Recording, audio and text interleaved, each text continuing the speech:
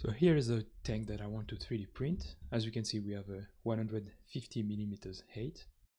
If I use the Blender bridge, the scale is the same. We still have 150 millimeters height. But if you want to adjust it, you will see that the faces are not connected. So you're gonna have some cleanup works to do. To avoid that, just export from plasticity in STL file. But if you load your STL file without doing anything, you will end up with a very huge model. So we, as you can see, the model is now way too big. To fix that, in the import STL, you have to put the scale at 0.001 and import again, and it has the same length. When your model is ready to be exported to Lychee, make sure to also do the same operation in the export. In the scale, here I'm gonna put 1000.